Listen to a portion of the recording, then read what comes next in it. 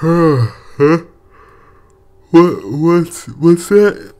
Pixar made an original movie. What? Oh, I better get going. Yeah, we're talking about Inside Out now. Uh, this is different for my channel. I usually never talk about movies, but whatever. I it's my channel. I can do what I want, girl. Mm-mm. Yeah, I'm gonna be talking about Inside Out. What did I think of the movie? It was good. It was good. It was a good movie. Yep, that's about it.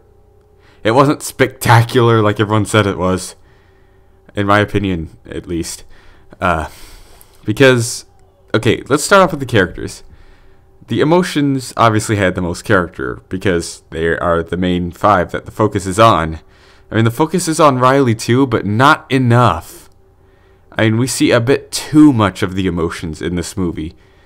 So it seems more like the movie's about them and not them trying to keep Riley. Because th- their goal is basically to make Riley happy because sadness and joy get lost. And I'm going to try not to spoil anything. I'll put in the title if there's spoilers or not. Uh, so the, basically, the goal of the whole movie is they're trying to get back to the controlled center, happy and joy, or joy and sadness, because they get lost.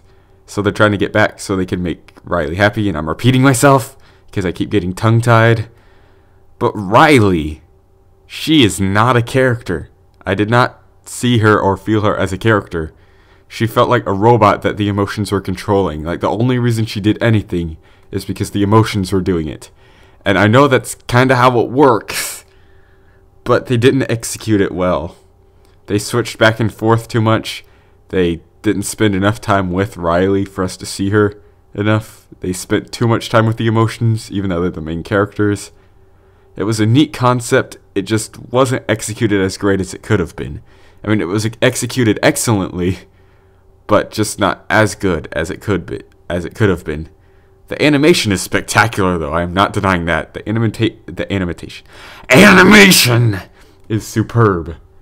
Like, I don't think Pixar could do any better animation than they have done now. Uh, but who knows? They could surprise me because I loved all the designs of this, all the colors, all the character designs, everything, the aesthetics, the textures, the imagination. It's just so good.